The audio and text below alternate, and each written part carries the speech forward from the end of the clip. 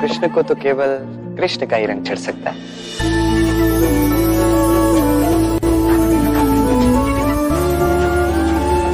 कृष्ण को रंग नहीं आई